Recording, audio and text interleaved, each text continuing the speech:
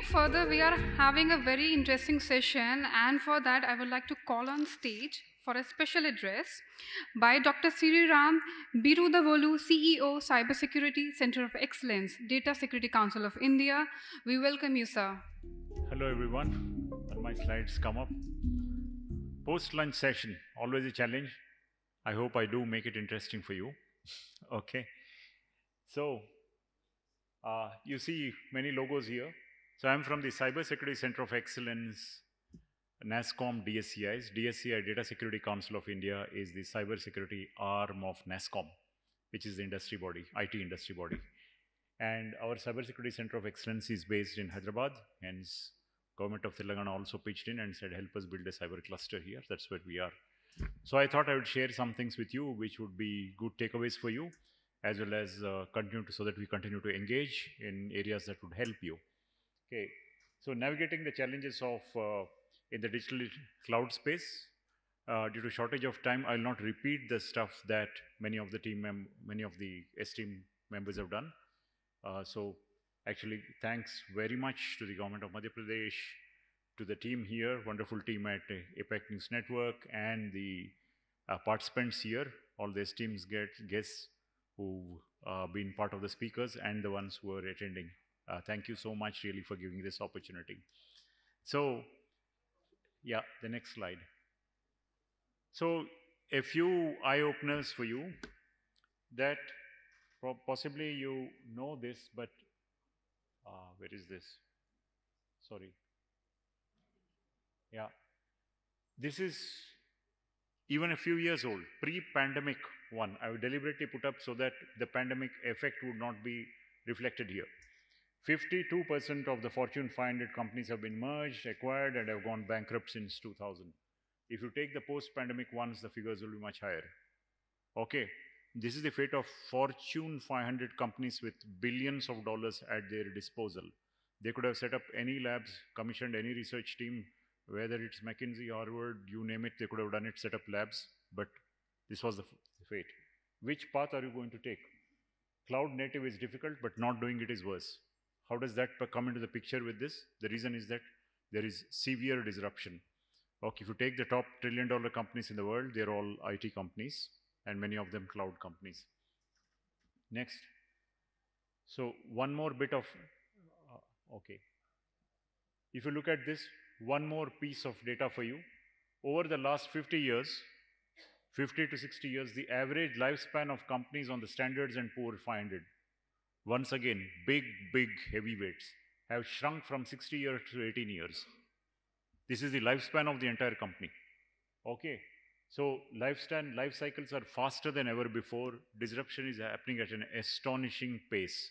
That is what we need to be very much aware of, which means that even if you're government, the underlying things are going to get disrupted very, very fast and innovation is moving ahead at breakneck speed because you're closely connected to the ecosystem you're delivering services for the people and the businesses and to make your ecosystem thrive and grow. That is the reason why you need to be extremely aware of this.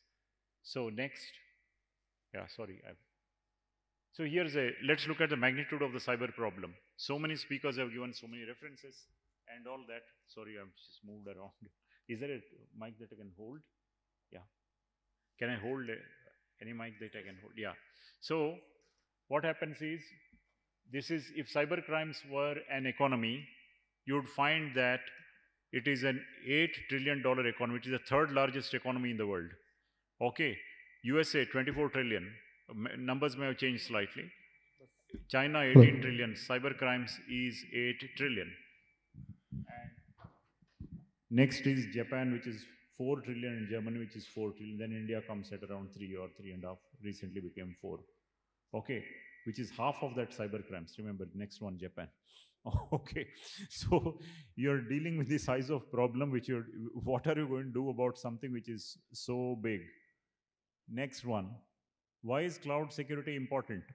Okay, I will not, once again, in the slides, I'm not going to put what is cloud, what is security, and all this. The earlier speakers have done a fantastic job of it. Okay, so this is very briefly, why is cloud security important? Protection of sensitive data, compliance, regulatory threats, uh, uh, what is that? Uh, evolving cyber threats, business continuity, reputation, trust, economic uh, factors, scalability, and reliability, customer trust helps in disaster recovery management and also cost effective. And all the powers that be, whether it is RBI or whether it is the government MeitY or CERT-In, they are all keenly aware of this and they have formulated guidelines. More are going to come. Okay, as the industry and landscape evolve. My earlier speaker spoke about IoT. After 5G is enabled, IoT, IoT devices may simply boom, skyrocket, and new business models may evolve, which means cloud will need to cater to all of those, right? So it will no longer be uh, human to machine, but machine to machine and IoT and so on. So that is why cloud security is very important, very, very important, cloud security. Okay, so what is the cloud security when you talk so much about cloud? The native cloud stack, what does it look like?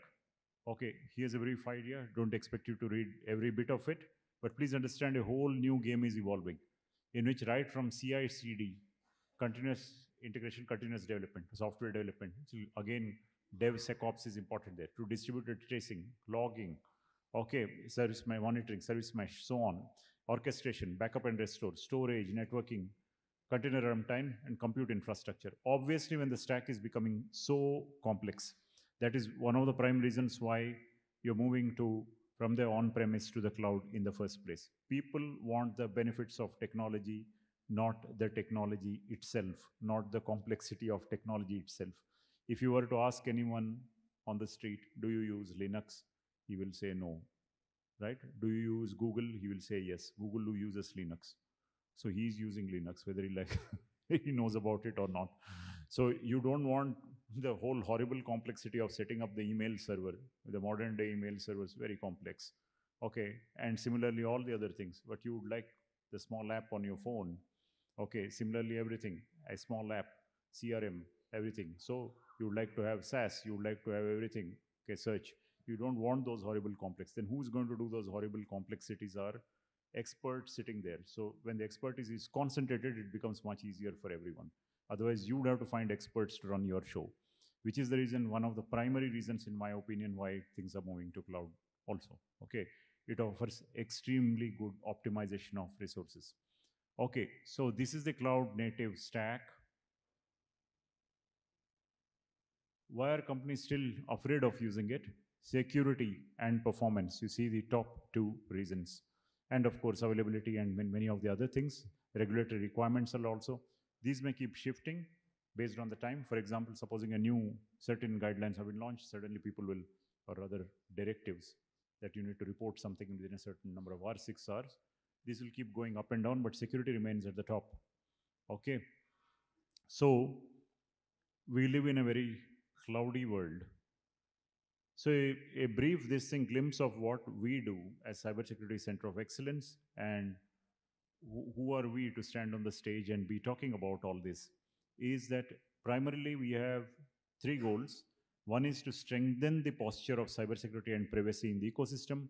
NASSCOM being an industry body, it's, we, it's not as if we are just uh, catering to uh, IT companies which are exporting and wonderful export markets, our manpower is being used, not all those things.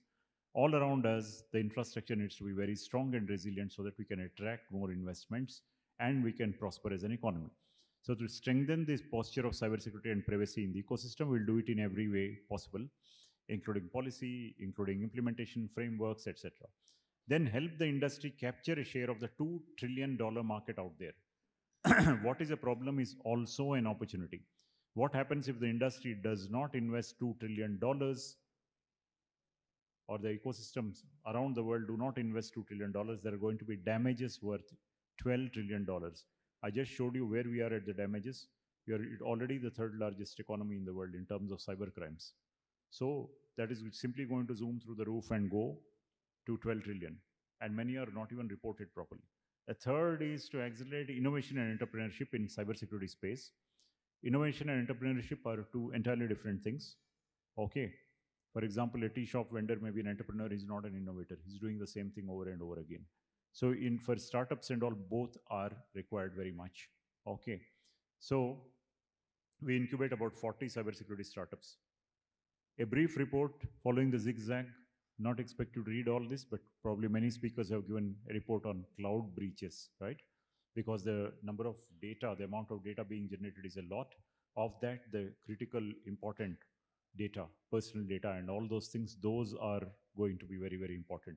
The intellectual property, uh, so many trade secrets, so many of the data which are there, extremely important. So cloud security is the top concern pertaining to organizations. Here is the breakup for people who may want to know what is the real breakup. Is it really $2 trillion or what is it? Here's the breakup. It's a McKinsey report. You're welcome to download and read.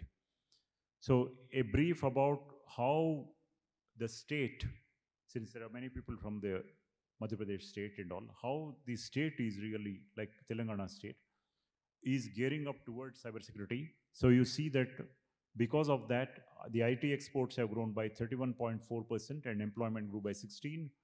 And of in India, Telangana contributed to a total land share of 44% of total uh, India's total IT employment, although occupying a small percentage in terms of uh, the population. So there is clean 4x growth from 2014 to 2023 and so on. And so many companies have set up data centers in uh, the state. So here are some of the areas that may enable these large data centers and all to be found. Infrastructures, corporate connect, government procurement, mentorship, academic connect, and funding. Okay. So there are now, this slightly older, but about 7,000 plus startups in Telangana. They contribute heavily. Lot of them will uh, use cloud or be SaaS products also, because that's the easier way. Frictionless innovation. They can easily launch products, test them out, failing, take them out, and all. Investment required will be less. So there are many entities which help that, ranging from T-Hub to our own Cybersecurity Center of Excellence and all. So usually this is, slide is put at the last, but I'll tell you. By now you realize that cloud security is a very complex thing. So here is the offering. We are going to hold a cloud security workshop and program. So you're welcome to join that. You can please connect with us. My name and email ID are given here, number. Okay, you can take a photo, you can contact me. The second is, by now you again would have realized that how important vendor contracts have become. You're obviously outsourcing it when you're doing a cloud deployment, right?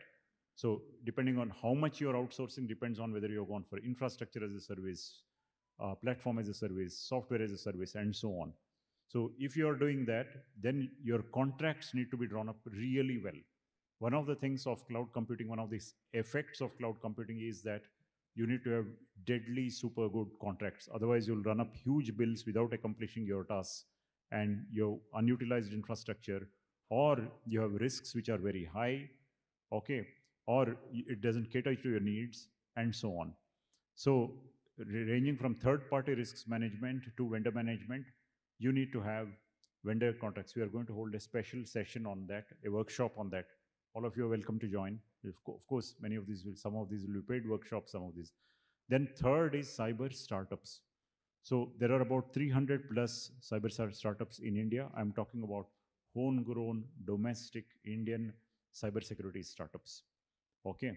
Services companies are many. These are product startups, okay, of which we are incubating about 40. So you need to run acceleration program to be able to get the best out of them. Okay. Because not the only ones which are established companies. Please look at these startups. Some of them are award winning. Startups serve to remove inefficiencies from the system. You should be in a position, no matter which one, whether you're government or corporate, you should utilize startups. Okay. So the earlier you do, the better it is. And how do you distinguish between which is a good one and bad one? Because over 90% of startups fail. That is where industry bodies like us, we come in. Okay. So if you've noticed carefully, from the past 20, 30 years, all the ones which are trillion dollar companies were startups before that. Okay. So whether you take Facebook or Apple or Google or so, so on. So uh, today's uh, companies are a little wary that some startup will come and pull the rug under their feet. So they themselves are going out and investing, corporates are investing in startups, running accelerator programs and investing, co-creating, working with them, using their solutions and all that they will help you much faster. They have very sharp extremely good solutions. So that is the other thing that I'd like you to, there's a takeaway. Please contact us, we'll get you in touch with many of them. The fourth you you need to have is a very good cyber policy, which we uh, worked on several policies, both at state, national level. So you need to have very good policy. So for example, you're constructing websites. So currently we are drafting that policy for the state. You can utilize it. Okay, once it, it is released, you can utilize that policy or can participate or so. So that how do you uh, develop website? There are GIGW, which is Government of India guidelines for websites, but that is not sufficient enough. We're developing a whole policy around that so that please let's be realistic. Supposing there is a department of tourism, they will not have expertise in developing websites. They will not have expertise in cybersecurity. And they will go out and give it to probably some vendor who's showing a jing bang, beautiful UI, UX on the uh, website and all those things. But many fundamental things like I showed you those stacks and all, they uh, stack, their software stacks, and they are not going to be understanding all this. So then they need help. So what we will do is give a policy and then tell them that please follow this policy and we'll have checklists so that you can do that. That is the reason why this vendor contracts management and cyber policy are so important. Please get in touch with us. We will surely help. Okay. So that is one thing before I just move on. So you see that policy frameworks, institution of excellence, and government adoption, all these are there. So why I'm telling you all this is that we are walking their talk. Okay. To show that, yes, these are all in focus. And in emerging technologies, you have institution of excellence, cybersecurity mission, Telangana AI mission, blockchain district, center for additive manufacturing, and so on are there. Okay. Your mileage will vary obviously in all this. You will not do exactly what the other uh, states are doing. You'll have your own unique advantages and different equations to deal with. So in this manner, there's one cloud COE also, if you look carefully, the bottom left. Hmm. Okay, so what are the different stakeholder groups that you need to deal with? Okay, in general, if you're like what we deal with. So one is the industry, the tech industry I'm talking about, which is the large, medium, and small companies.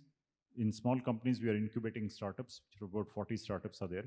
Large ones are all the large ones you can think of, whether it's Infosys, Microsoft, Oracle, IBM, and so on. And mid-sized load of companies are there.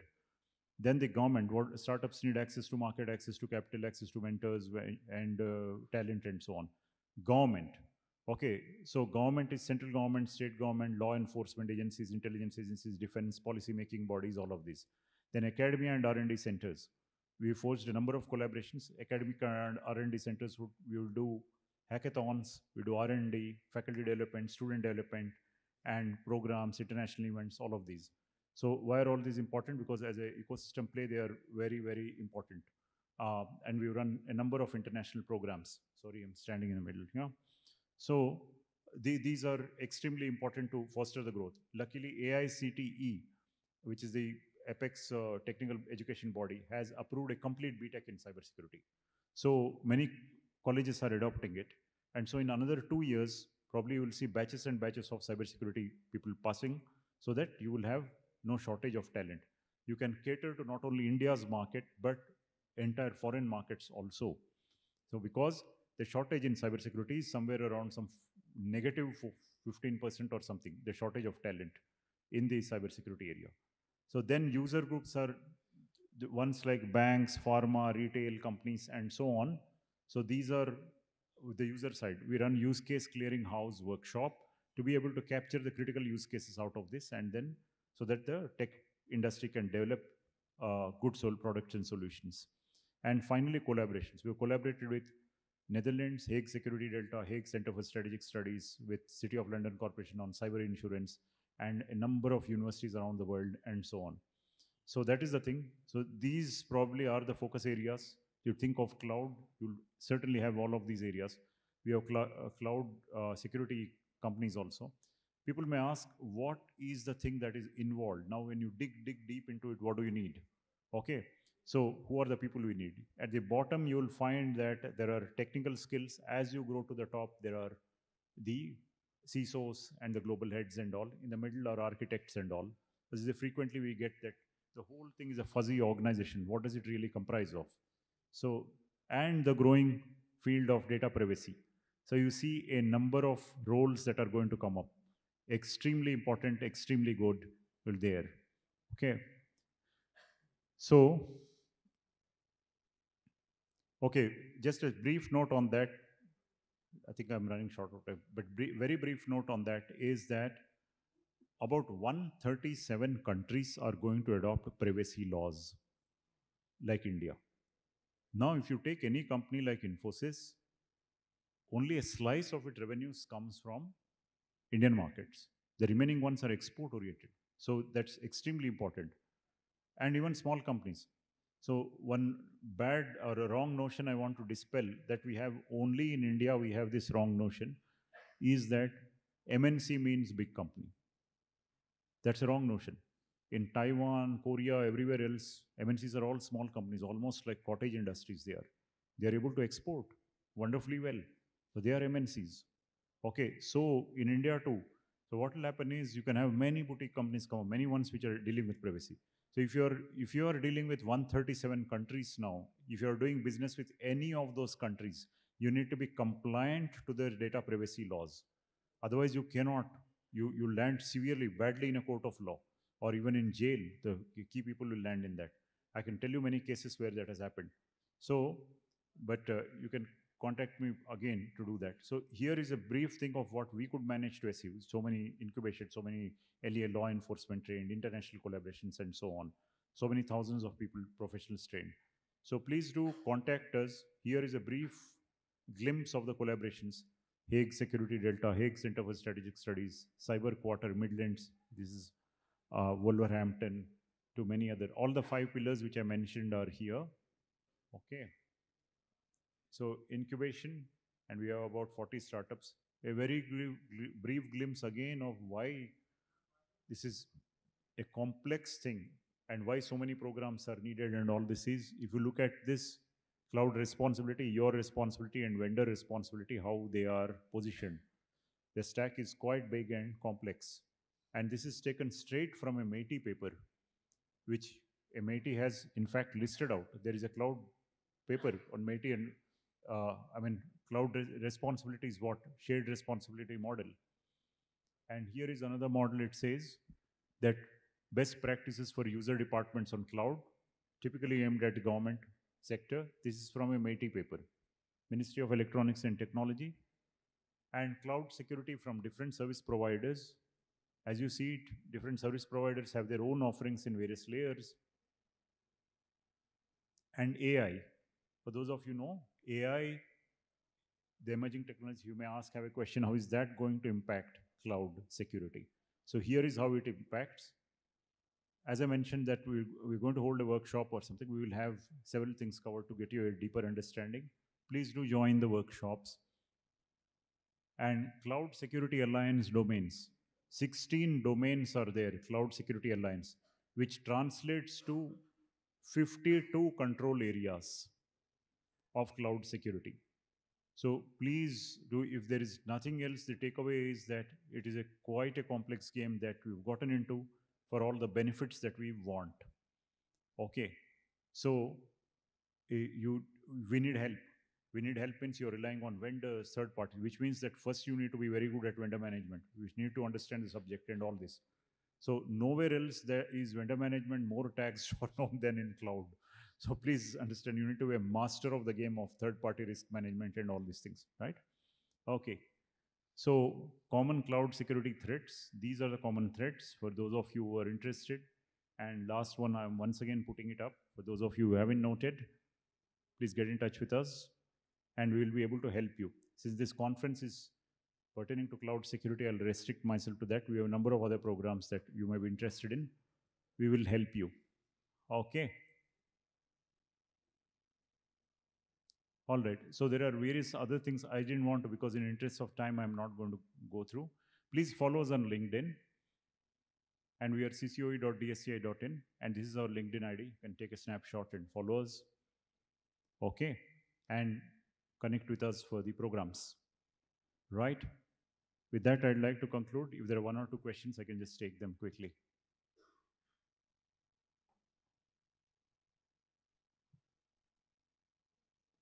Thank you again for your patient listening.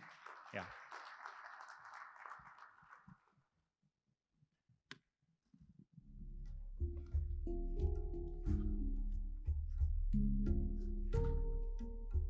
Uh, uh, this uh, model of COE is very good. In fact, uh, as a government of MP, we would like to understand in detail later on so that we can even think of creating such a kind of institutional structure, which is majorly, I guess, private led.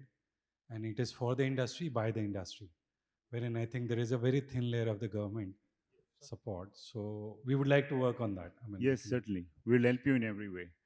so we like to understand the model of engagement and how you have created this institution, and DSCI, how it has helped, and how government of Telangana, what are their respons- responsibility matrix and all. Yes, yes. So we would like to discuss. Certainly. So this is something which we were thinking.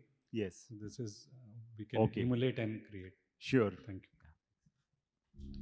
Thank you, Dr. Sriram, for sharing your invaluable insights.